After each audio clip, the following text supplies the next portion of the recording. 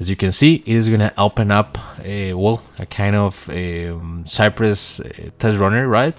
And now we can start recording our steps, our actions. So for example, if I click on that, you can see that we have a, another, a second action over here, which is get. It has a selected uh, the, the button using this selector, this ID selector. And now we can start interacting with this form. For example, if I enter, uh, I click on this uh, text box, I'm gonna enter the first name, I'm gonna enter John, okay.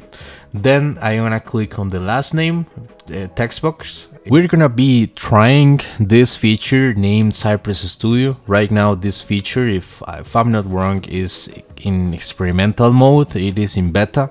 So we're gonna take a look of how it is is it going. Uh, if it has feature or if it not it doesn't please let me know in the comment section if you like what you see or if you don't. But i think that it has potential right? Basically uh, cypress studio is gonna provide us with a kind of record and play uh, tool in order to uh, record the different actions that we're gonna be doing in a in a in a website. And then it is gonna generate the code in order to automate something okay? So um, in this case what we have to do is add this uh, key and value to the uh, configuration file in the Cypress JSON. Okay, so that's the first thing that we are gonna do.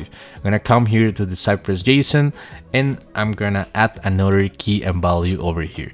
As soon as I have done this, I'm gonna start working with the terminal or actually the test runner. Okay, let, let me open that and then I think that we can start working with our spec files. So I'm gonna come here to my integration folder and then I'm gonna open and actually create a new folder here named um, for example um, Cypress Studio uh, test. Okay? This folder is gonna contain a simple JS file right? Which is gonna be for example a studio demo.spec .js and it is not gonna contain any code okay? Let me see what is happening. I'm executing uh, and something that i don't want i think. No it, it should be working. Um yeah cypress open should work now. Let me see the package the json cypress open. It is working. Cool. Perfect. Now uh, well as soon as i have creating my spec file well i think that i have to click on the the, the spec file itself. Let's go. And as you can see basically it we have another uh, well we have an option here which is create test with cypress studio. So i'm gonna come here and click it is saying that the studio is in beta, right? It's it is saying that generate Cypress commands by interacting interacting with your site as an end user would. Then save these commands directly to your test file. So I'm gonna click here and enter my valid URL. So I'm gonna use this um, this website as example, and I'm gonna use the web tables from the demo QA. So I'm gonna come here, enter my website, and I'm gonna click on go. As you can see, it is gonna open up a well, a kind of a, um, Cypress uh, test runner, right? And now we can start recording our steps, our actions. So for example, if I click on that, you can see that we have a, another, a second action over here, which is get. It has a, a selected uh, the, the button using this selector, this ID selector. And now we can start interacting with this form. For example, if I enter, uh, I click on this uh, text box, I'm gonna enter the first name, I'm gonna enter John, okay. Then i'm gonna click on the last name uh, text box. It is gonna be um, test for example. Then i'm gonna click on the email uh, text box. So i'm gonna use john at test.com then i'm gonna enter an age. Let's say that i have 55 years old. Then i'm gonna click on the salary. For example i'm gonna say that i, I earn 100 uh, I don't know, just a salary over here, right? Um, and the department that where I'm working in this case, I want to see that it is, for example, in sales. okay, and then I'm gonna click on submit. as soon as I have done this, well, we have two different options. The first one is click on cancel, so nothing of this is gonna be recorded.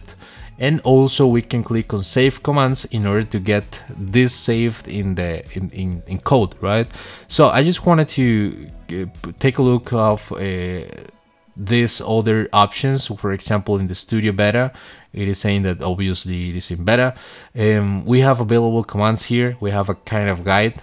Right now we only have access to uh, play around with the check with click with select with type and uncheck um, they're gonna be adding more commands and abilities in the future. And the feedback uh, well they are open to hear more feedback feedback from uh, the users right? So yeah. And uh, well we can click on close studio uh, restart the execution. And actually I can save the test from this button. So I'm gonna click on that. And it is saying that I can uh, well provide a test name over here. So I'm gonna call this web tables demo as soon as I have I, I, do, I, I do this you're gonna take a look of this. It is gonna execute the same script to see if everything is working fine. Well as you can see uh, well it has added the new column in the in the table automatically and everything is working fine I guess right? But um, as soon as this I have I have saved saved the the actions right the recording you're gonna take a look of the Visual Studio Code and now it has well created and automatically this code. It is saying that it has created an, it right with the with the test name that I have provided and also it has all the different uh, commands that I have recorded well converted into code. So yeah I think that it is a very interesting feature from my perspective um, well, well uh, other uh, automation tools have something similar, right? For example, Testcafe has the Testcafe Studio, which is well uh, far beyond uh, from the from this functionality. They have a lot of better functionalities for now, right? It is more complete, and uh, well, Cypr uh, Selenium has its Selenium IDE, right? And well, it is a, an interesting option, and probably the Cypress team is gonna work on this and uh, improve its functionality for a, a, near near future right? So thank you very much for watching the video. Hope that you find this uh, functionality useful and let's uh, well review this. And as soon as i have an update or of something else i'll try to make a new video with that update for you. Thank you very much and see you in the next one